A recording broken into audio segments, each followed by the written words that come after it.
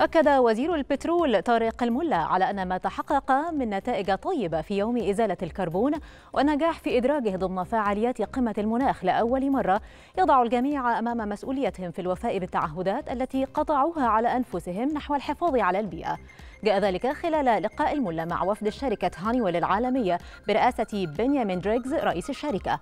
من جهتهم هنأ وفد الشركة العالمية وزير البترول على نجاح فعاليات القمة ويوم إزالة الكربون وأشادوا بالتعاون البناء معربين عن تطلعهم لزيادة استثمارات الشركة بمصر خاصة في مجالات خفض الانبعاثات والتحول الرقمي وإنتاج الهيدروجين.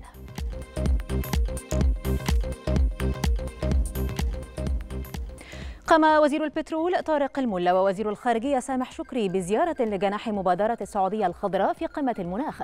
يرافقهما وزير الطاقة السعودي عبد العزيز بن سلمان آل سعود.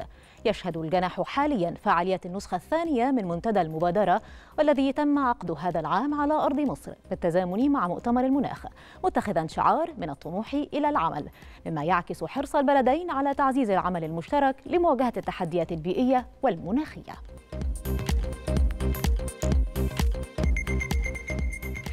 نفى المركز الإعلامي لمجلس الوزراء ما تم تداوله من خبر إقرار زيادة جديدة في ضريبة القيمة المضافة على مختلف السلع المتداولة بالأسواق.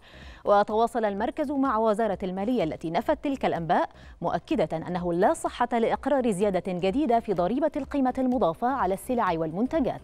وأكدت الوزارة أنه لم يتم إقرار أي زيادة جديدة على ضريبة القيمة المضافة على السلع والمنتجات ولم يتم إصدار أي قوانين جديدة بزيادة الضريبة على القيمة المضافة. وأن سعر الضريبة على القيمة المضافة ثابت كما هو ولن يخضع لأي تعديلات. مؤكدة أن إقرار أي زيادة في الضرائب لا يكون إلا بنص قانوني بعد موافقة مجلس النواب.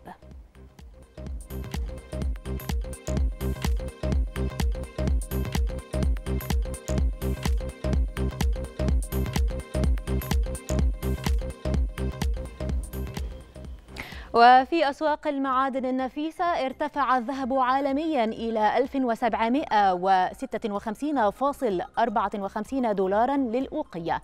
ومحليا سجل عيار 18 نحو 1082 جنيها للجرام وسجل الذهب عيار 21 نحو 1262 جنيها للجرام. في حين سجل عيار 24 نحو 1442 جنيها. ووصل سعر الجنيه الذهب إلى 10096 جنيها. أظهرت دراسة أمريكية أن المستهلكين الأمريكيين يشعرون بأن اقتصاد بلادهم يمر بأوضاع أسوأ خلال شهر نوفمبر الجاري مع ارتفاع معدلات الفائدة والتضخم بصورة قياسية. وأوضحت دراسة صادرة عن جامعة ميشيغان أن المؤشر المبدئي الذي يستند إلى استبيانات لآراء المستهلكين بصورة شهرية تضمن تراجعا في ثقة المستهلكين إلى 54.7 نقاط خلال شهر نوفمبر الجاري وهو المستوى الأقل منذ فصل الصيف الماضي. حيث تراجع هذا المعدل بسبب ارتفاع أسعار الوقود بصورة قياسية.